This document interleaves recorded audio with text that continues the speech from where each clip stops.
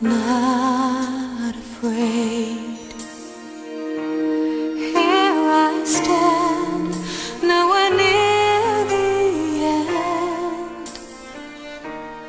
Time to go a different way, cause another.